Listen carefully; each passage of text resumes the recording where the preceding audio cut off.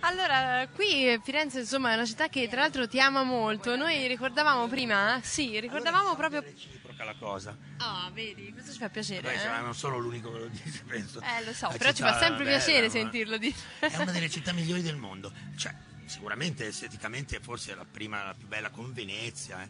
Poi io sono un fan di tutte le città italiane perché a loro modo hanno, hanno una particolarità talmente specifica che le rende così uniche e irripetibili. E Firenze lo è maggiormente. È la storia, è la storia. Lì è la storia, la storia è qualcosa che adesso come adesso ha- ha- gode di pessima, secondo me, una- un momento dove la storia in generale, non solo quella delle città, anche quella della musica, Eh, non gode di ottima reputazione, perché sono tutti a favore di un svuotamento assoluto e che è una sciocchezza, perché non porterà a nulla. a che punto è quindi la storia della musica italiana, se si può La musica dire? italiana regredisce molto rapidamente. La musica italiana non produce niente di valido da tanti anni da un punto di vista di invenzione che stia nel dibattito internazionale, eh, non ti dico che cose che inascoltabili, ci sono cose ascoltabili ma che non hanno peso se pensi paragonate a quello che, a quello che c'è all'estero. Invece questo, per esempio negli anni 60, Era l'inverso. No, più che all'inverso eravamo diciamo competitivi. Le canzoni effettivamente di Modugno o di Tenco o di Gino Paoli venivano anche cantate dagli artisti americani e spesso Elvis voleva fare pezzi di Modugno, ha chiesto a Modugno se gli scriveva delle cose, per esempio, cioè cosa che non capita oggi, non mi sembra. Ma in che rapporto stai con Con Elvis? Che ce l'hai, che ce l'hai qui Beh, sull'oculele? allora, soltanto un grande scrittore può far vivere insieme i vivi e i morti, questo lo dicevano Fossati in una canzone bella. Soltanto un grande scrittore può... no perché eh, effettivamente i morti a chi interessano se non ai parenti. No, vabbè, c'è chi lascia una fama a chiunque. Sì, quindi... Pino Daniele, per esempio, perché non se ne parla più di Pino Daniele? Spero che Napoli andrà avanti a coltivare un po' il mito di Pino Daniele, perché eh, si è spento Pino Daniele, ma si è anche spento un po' il parlare di Pino Daniele. Io non lo sento molto citato, non lo vedo messo in radio, invece Pino Daniele è importante ed è morto l'anno scorso forse. Sì, sì, tra l'altro- tra l'altro. Sì, sì, in Molti- Toscana è stato anche seguito perché è successo qui. Quindi era grosseto quella notte, Ecco. insomma. Eh, eh, infatti, però penso che eh, sia una delle mancanze, anche Lucio Dalla, una delle mancanze gravi nella, nella musica italiana, perché erano artisti che comunque lavoravano anche negli ultimi periodi, non erano spenti artisticamente, Eh, no, no. mentre altri, e non faccio i nomi, sono un po' spenti, È come quando Carmelo Bene disse quando è morto Gasman, no? che Ga- Gasman mor- morì prima di Carmelo Bene. Allora Carmelo Bene ha fatto in tempo a scrivere delle cose, sul- mi ricordo sul Corriere della Sera, dice ma perché vi stupite, era morto da 40 anni, scriveva Carmelo Bene, ha scritto questo. Lui intendeva artisticamente comunque. Vabbè, certo, certo. Senti, ma eh, tu oggi sei ospite del campus, che è questa esperienza, insomma, veramente bella. Ma che è questo accompa- che stiamo facendo il campus? Sì, è questo, è questo. Questa è l'antipasto. Noi siamo Campus Web TV. Ti diamo in pasto. È un- è, diciamo una tassa che va, che va, che va pagata all'ingresso. questo livello va bene, cioè, sono accompagnato con Charlie Angels, no, pure le copertine di Playboy. Va bene, va bene, va bene. Se- se- finché siamo una tassa piacevole ci va anche bene. Tutto Allora abbiamo largo. Senti, ma eh, qui praticamente si, si costruiscono un po' giovani, si portano avanti i talenti, gli si danno dei consigli, si fanno crescere in qualche modo. E tu, insomma, con l'esperienza e il rapporto anche con i giovani ne hai di diverso, no? Perché sei stato vicino anche, eh, di diverso tipo, sei stato vicino e poi sei stato anche lontano dai talent. Quindi, Lontano. e cosa, come funziona portare avanti questi giovani? Chi? Pantaloni di chi? Ah, tra l'altro è una nostra, è una nostra amica, vieni qui, vieni qui. Voleva, no, voleva il microfono, non gliel'hanno dato e quindi si è allontanata. Raccontaci un po' di, di come approcci i giovani, cioè cosa gli consigli, cosa gli racconti stasera. un'età come se fossero miei figli. È strano questo perché io eh, sono diciamo i primi anni in cui mi trovo quarantenne, perché prima di, prima di aver compiuto i 40 non mi sono trovato mai quarantenne. Guardavo Beh, quarantenni sfido. perché mi sembrava che fosse la soglia che fa invecchiare le persone. In fondo la vita dura, più o meno 80, 90, più, più- quando dura bene, insomma, tanto. Sì. I 40 siamo lì spartiacque, no? Nel Eh, mezzo del cammin della tua vita ti, sei trovata al campus. oscura, dritta via, smarrita. Hai quanto dire qual era cosa dura essa selva? Ah, vabbè, Ah, allora. Questa selva selvaggia e aspra e forte che nel pensiero rinnova la paura. Tanto amara che poche più morte. Io non so. Omaggio a Firenze, eh? Entrai tanto sono a quel punto che la verace di abbandonai, ma poi che fu al piede un colle giunto, là dove terminava la, quella valle, mi aveva di paura il cor compunto, guardai in alto, vidi le sue spalle vestite già dei raggi del pianeta. Allora fu la paura un poco quieta, nel lago del cor m'era durata la notte che io passai con tanta pietà. Oh, grazie, grazie. Bene, bene. Affannato. Eh, no, vabbè, ma tutto sono tanti, eh? Sono parte del primo e tutto il quinto. Eh, Paolo e Francesco. Allora, va bene, Amor va che bene. ha argentino tot sempre in prese così invece si porta cose. Fidiamoci, che non la mata mai perdone prese Amor conducendo ad una morte. E soprattutto che consigli darai a questi ragazzi? Dare consigli, la mia vita è completamente S, c'è la S davanti. E quindi ha la S privativa la mia vita, ho anche l'alfa privativo. Per esempio, amici vuol dire una persona che non ha gatti, no? Amici, no? Per esempio, quindi la mia vita ha una alfa privativa davanti. E questa è una battuta Allora, casuale. No, è penso, una eh? battuta formidabile. Però non bisogna ridere alle belle battute. Al No, limite, serio. prima di farla puoi ridere. Come prima è troppo difficile. Sì, perché tu sai che farà ridere. Quindi eh, Quindi ridi fiducia. prima, poi la racconti e poi non si ride. Nessuno però deve ridere, mi raccomando, è un gioco, non ridiamo. Ci sforzeremo, faremo del nostro meglio. Anche se eh. dico che canterò con Berlusconi una canzone di Tony Renis, Ah, ah, no, qui si ride per forza. guai a chi ride. Soprattutto quando avviene, guai a chi ride. Senti, ma... Eh, torniamo a tema. sì, Stavi dicendo che i giovani, io non ma credo di avere dei consigli da dare. Perché abbiamo fatto anche però un panorama abbastanza un po' negativo, Detesto i consigli, detesto quelli che italiana. danno i consigli. E perché Si uno sa che la dovrebbe... gente dà buoni consigli sentendosi come Gesù nel Tempio. Si sa che la gente dà buoni consigli se non può dare cattivo esempio. E quindi Eh. perché un Poi tra l'altro qua dovrebbe fuori c'era un cartello giallo con una scritta nera, diceva, no è vero che c'era un cartello giallo, prima guarda c'è il cartello giallo. E comunque eh, io consigli non ne do perché io non do consigli, io do delle certezze, non dei consigli. Allora se tu vuoi... Mm, più eh, interessante. molto più interessante perché in realtà i consigli sono proprio un pur parler, sono anche una cosa per chi si sente sto cazzo. Invece io devo dire, eh, se mi vuoi parlare di musica, su quel quello che conosco ti posso dire quello, quello che so, ma sono certezze, non sono consigli.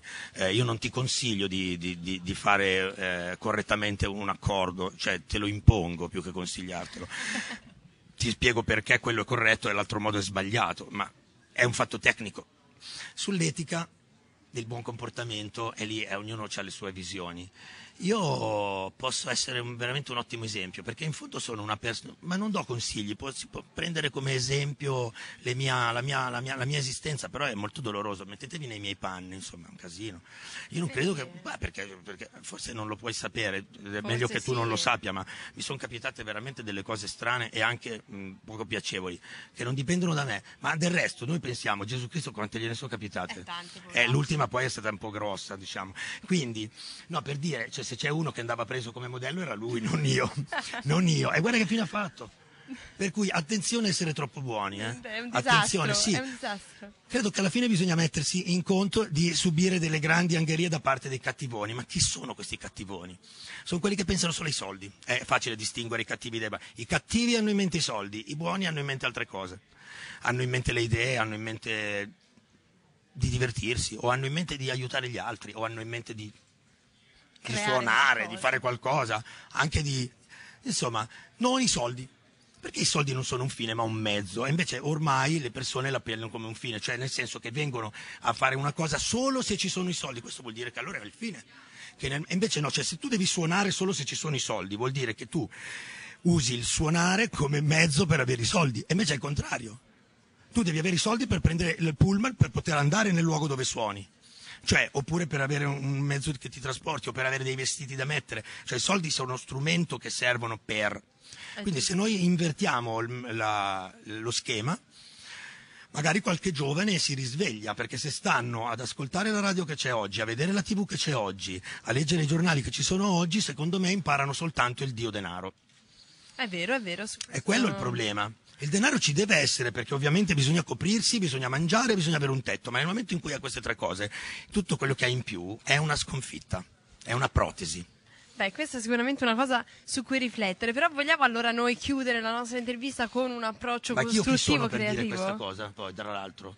Ma chiunque può dire Uno questa che non ha un cosa. quattrino. Ma non mi interessano, non mi interessano. Cioè, è per questo che sono inculabile. Però Cioè? dico sempre ai miei manager, ma perché non mi inculi per 15 milioni anziché per 1500 euro? Così vuol dire che se tu mi stai fottendo 15 milioni di euro, vuol dire che ne abbiamo fatti 30. cioè, fottimene di più. Quindi stiamo ritrattando tutto. Senti, invece io ti volevo, ti volevo lasciare con un progetto, perché noi abbiamo Eh, detto che le persone buone sono quelle che creano. Allora, qui abbiamo... Creare può voler dire anche andare fuori una sera con un amico, cioè non è che per forza bisogna fare un'opera d'arte. Sì, Essere però- creativi significa trovare il modo di uscire da una situazione stagnante. La creatività è quello che risolve i problemi alle persone di solitudine, dipendenze varie, eh, come dire, bruttura interiore. Creare significa prendere in mano il telefono, oggi prendere la cornetta non si può dire, però fare il numero. Il cellulare? No, così fai il numero con quello che gira. Sì, non c'è più quello. 0, 3, 9. Fai il numero, però chiamare una persona che ti aiuta anche a, a uscire da, uno, da un impasse. Poi invece tutti dicono sociale, sociale, sociale, ma sono da soli a fare il sociale. Che sociale è se sei da solo in camera tua? Non è il sociale. Sociale vuol dire questo. Certo. Stare un po' in compagnia. Insieme, insieme, in compagnia. Allora, parlavamo Ciao. prima di, bella, di un bel evento che ti aveva visto coinvolto, giusto? A Giusto. Firenze, vedi che annuisce. Quale? Chi annuisce? Lui, lui, lui. Il capoprogetto. Il capoprogetto. È dedicato a De André. Vogliamo, vogliamo pensare a una cosa bella da fare per Firenze, magari per, un- Sì. per la musica italiana? Sì, per esempio, allora ditemi il nome di un cantautore di Firenze. Guarda, conosco Piero Pelù, per esempio, è un altro cantautore di Firenze. Vabbè, mi viene a mente... certo, Eh? Campus della musica sì, no, ce n'è dico uno storico. Sicuramente io però non li conosco gli emergenti, poi me li dovete far conoscere. Beh, Ora invece uno- di storici cantautori di Firenze chi sono? Io mi viene in mente Vabbè, uno fra tutti è anche Riccardo Marasco, che era una, una- una musica no, un, po', un po' diversa, Un po' però voglio di- dire... però di nicchia. Di nicchia, sì, Sì, però ma insomma... invece uno- ma anche conosciuto- musica italiana si può fare. adesso eh. non mi viene in mente- No, anche di musica italiana, per, per No, ma dai, dire, hai detto a, Firenze. a parliamo- Firenze. Allora, Firenze, Ah, io- allora, per Firenze, sinceramente, a me mi viene in mente Dante, la prima cosa che penso quando penso a Firenze. Eh, che sì, va bene, sembra- e mi che ho più di un cantautore, molto più di un cantautore. Però, per esempio, ehm, Firenze è limitrofi o vi odiate come ai tempi del, No, del Medioevo? Che c'erano le faide. No, perché qui mi sa che è rimasto un po' questo atteggiamento di Pisani eh, Vabbè, contro eh, Firenze Guarda contro chi è? Prato. No, il campanilismo è anche tra quartieri, eh, attenzione. Appunto, eh, ah, no, eh, vabbè, per non arrivare poi nella palazzina, cioè dove c'è. Ma io parlo proprio di corporazioni tipo proprio, non so, Massa contro Carrara. Contro Prato, dai, che poi vince Firenze di default perché non-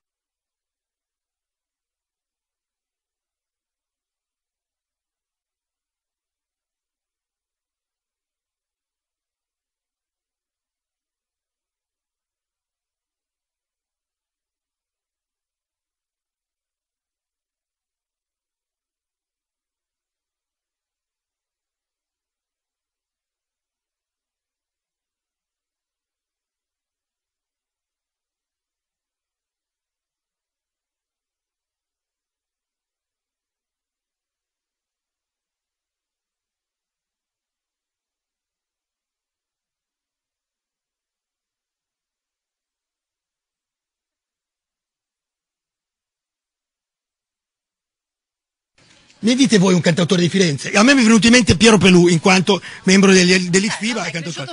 Ditemene un altro! Piero Pelù. Irene Grandi, vabbè, è un interprete, è un interprete. Scusa, i... Aspetta, scusa, ma Dolce Nera che è qui sono ormai a... sono di Arezzo. Ragazzi, di Rotta su Cuba però stiamo andando a raschiare il fondo del barile, cazzo, un cantautore, cioè... di Rotta su Cuba va bene, però anche loro interpreti. Firenze mi sa che de- Comunque- è dal 400 che non produce qualcosa. No, vabbè, ma ora c'è il campus che metterà, che Oh, metterà una svolta Meno male che c'è il questo. campus perché usciamo da Hai 600 anni di impasse. Cioè...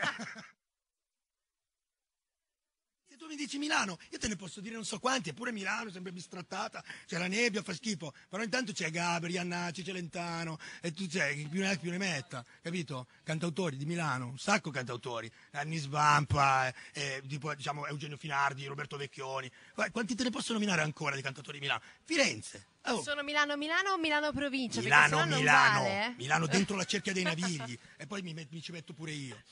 Va bene, E va pure bene. Emanuele Agnelli, purtroppo. Però eh, Però, anche va- Fedez è un cantautore milanese, a suo modo. Cioè a suo modo milanese o a suo modo cantautore? A suo modo Fedez. E poi eh, non lo so cosa possiamo fare, il campus. Il campus. Il campus Eh, certo. è l'unica chance, ragazzi, il campus è l'unica via. Mi sono accorto che il campus è la sola via che abbiamo oggigiorno per poter creare qualcosa e adesso vediamo cosa stiamo per creare, perché io devo andare a, a creare. Eh sì, infatti mi sa che si Sono stanno ragazzi che ti aspettando tutti. aspettano, Ti, eh. ti lasciamo, la tassa è finita. Va bene, ciao. Grazie, allora, grazie, Morgan, Ma con chi grazie. parlavamo? Noi parlavamo con tutti quelli che ci seguono sul web streaming, ma soprattutto Siamo con tutti loro. Sì, sì, sì, Cazzo, sì. pensavo che montavate tagliando le parolacce. No, no, eh, no, non si può, ormai è andata, Che vabbè. mondo di merda. Non ci hanno oscurato però. Va bene, Grazie. grazie, allora, eh. Ciao.